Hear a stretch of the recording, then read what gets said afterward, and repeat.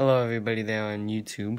Um, you can tell by the title of this probably, I'm getting a new phone, uh, real this time. I know a couple years ago, a month, uh, like, yeah, probably over a year ago, posted a video saying I was getting a new one, and I didn't. I decided to stay with this one, but now I really am getting a new one.